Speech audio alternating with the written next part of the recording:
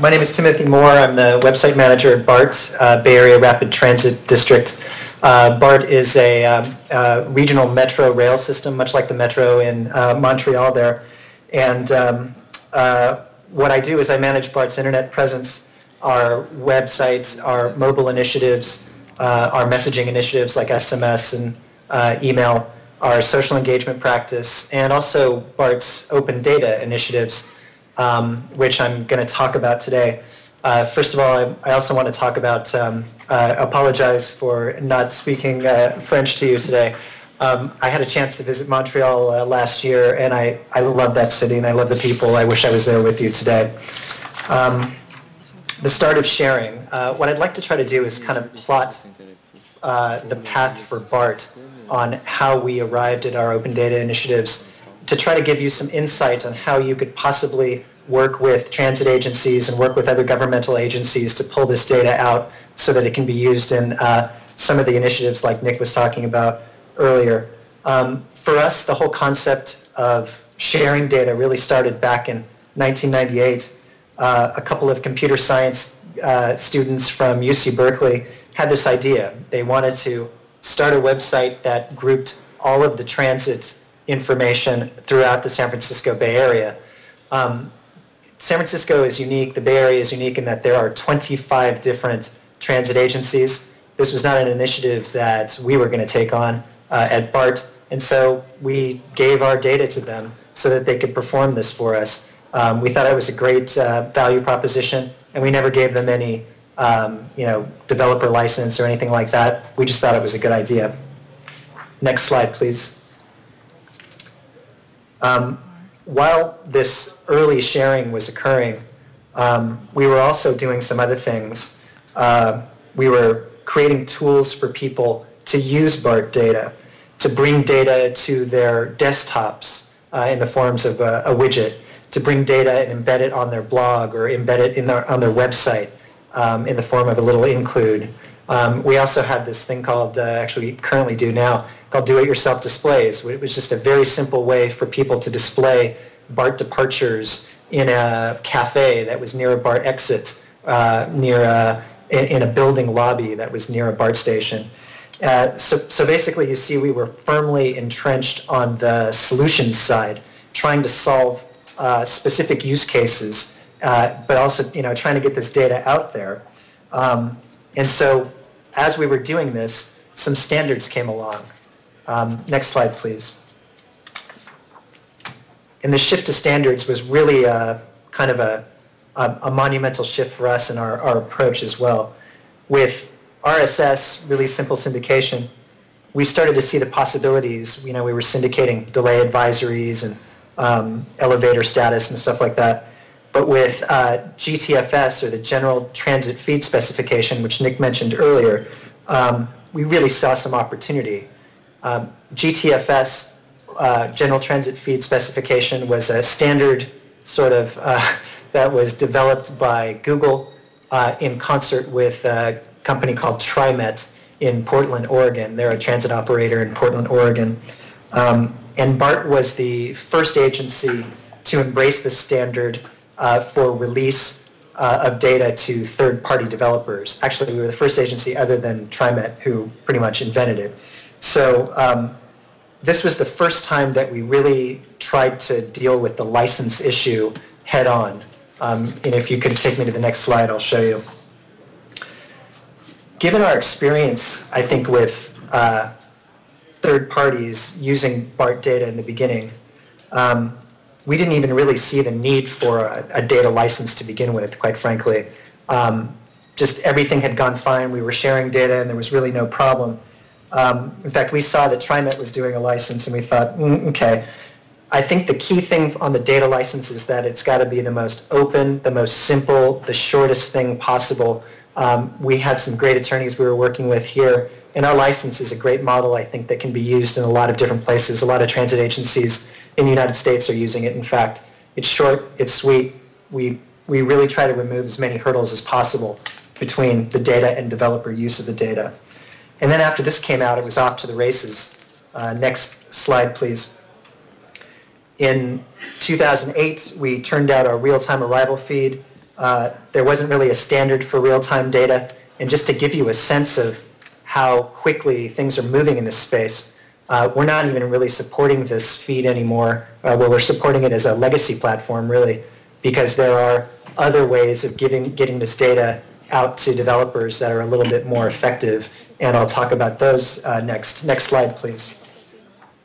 Um, in 2010, we made the decision to turn out the API, and an API of literally everything that's used on BART.gov. So we're talking about our trip planner, uh, our scheduling, uh, schedule static, uh, real-time arrivals, real-time departures, delay advisories, elevator advisories, geolocation information on stations, everything that we had, uh, we put it into this API. And that's really the, the place now that we're encouraging developers to go to. They can make better calls, more granular.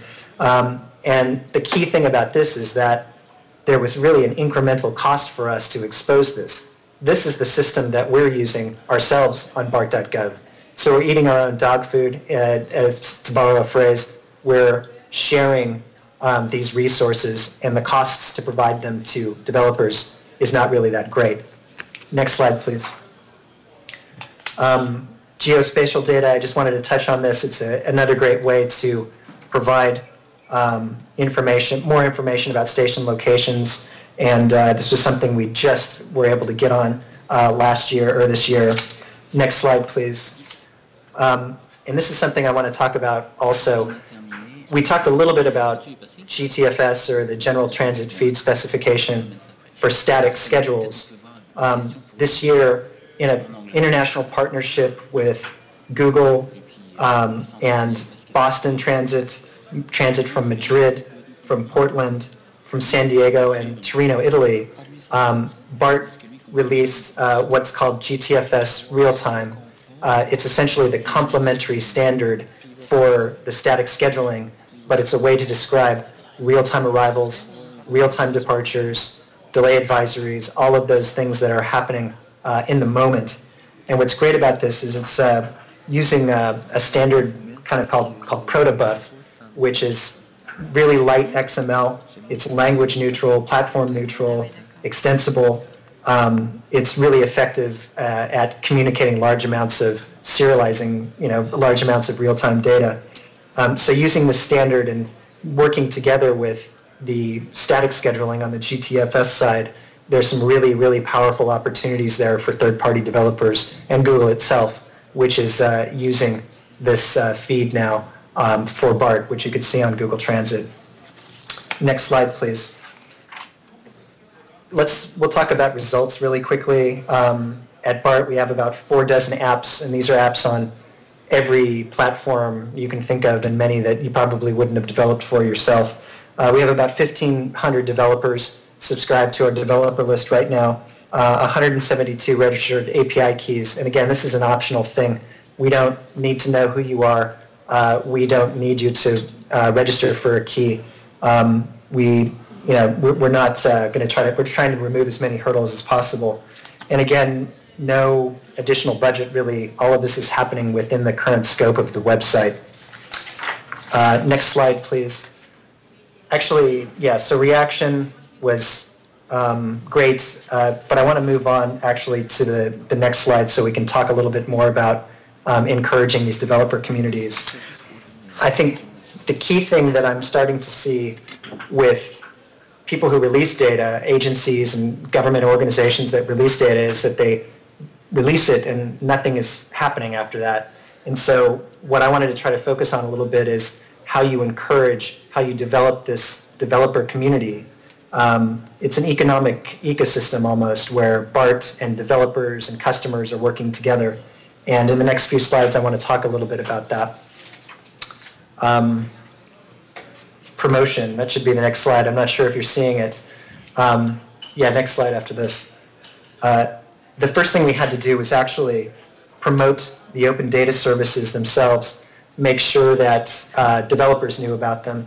The other thing we wanted to try to do was promote the uh, applications that developers were creating so that we could create kind of a virtuous circle that our customers understood what was going on, our developers understood that they could get some exposure if they created an app, uh, that was really the first thing we wanted to do. And every chance we get where we have free advertising on our platform signs, on our, um, on our emails that we send out in the footer, we're trying to promote these services as much as possible.